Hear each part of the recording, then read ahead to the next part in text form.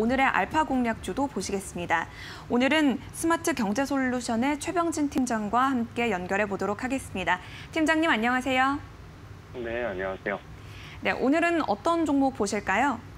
네, 오늘 소개해드릴 종목은 ST 바이오센서라는 기업입니다. 이 기업 같은 경우에는 분자 진단이나 면역 화학 진단 그리고 현장 진단 등 다양한 이제 진단 제품들을 생산 판매하는 기업이라고 봐주시면 좋을 것 같고요. 오늘 같은 경우에는 이제 주말 사이에 코로나 확진자 수가 2만 명 이상 유지를 하면서 관련한 수혜 기업으로 부각을 받는 상황이다라고 봐주시면 좋을 것 같습니다.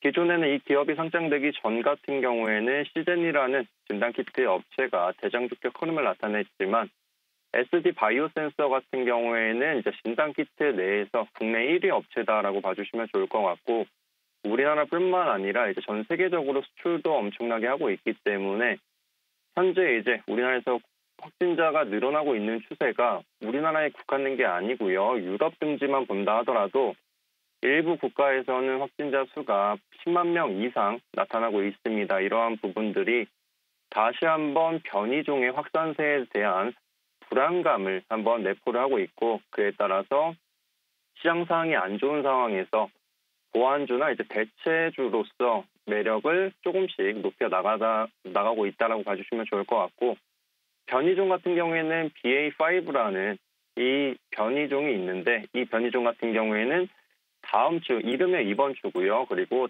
늦으면 다음 주 정도에 검출률이 이제 50% 이상 나타나면서 우세종으로 전환할 것으로 전망을 하고 있습니다. 그러면은 이 변이종 같은 경우에는 얼마나 속도가 빠르냐라고 보았을 때 스텔스 오미크론이라는 이제 오미크론에서 변이된 변이종이 존재를 했었는데 이 스텔스 오미크론은 이제 굉장히 빠른 변이 속도 그리고 확산세를 나타냈습니다. 그 스텔스 오미크론보다 35% 정도 전파력이 높다라는 부분들이 이 기업의 이제 매력도를 점차적으로 높이는 상황이다라고 봐주시면 좋을 것 같고 진탕 키트 관련한 이제 사업 부분에서 워낙에 이제 독보적인 기술력과 그리고 시장 점유를 하다 보니까 1분기 실적을 보았을 때 1조 원 이상의 굉장히 높은 매출을 나타냈기 때문에 오히려 근본 이제 확산세가 3분기, 4분기의 실적에 대한 불안감을 줄이고 기대감을 높이면서 이 기업의 이제 정체되었던